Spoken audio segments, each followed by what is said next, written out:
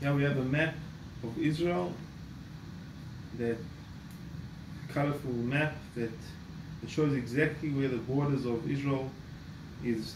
Pasuk says, what's the idea? The Pasuk says, here brings the Pasuk, Vayalachem gvul negev mikce yam kedma.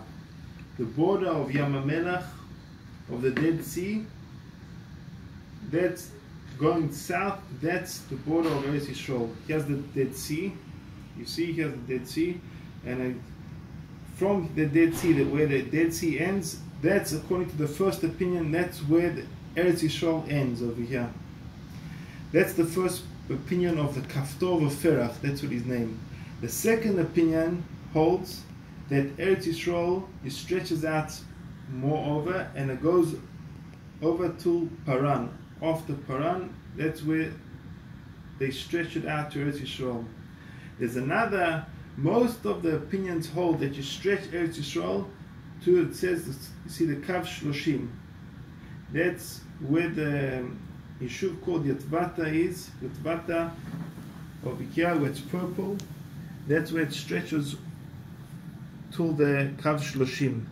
The nafkamina, the difference between the the opinions is a, a paran.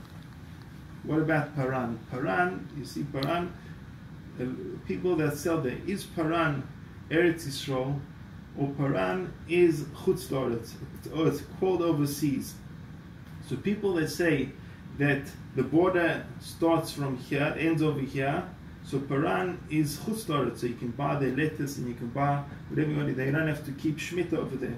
But people that hold that the borders over here, or we go according to most opinions, they hold from the Kav Shloshim, that's Eretz Yisrael. So when you buy lettuce in the store, you know that's Chutzpah. chutz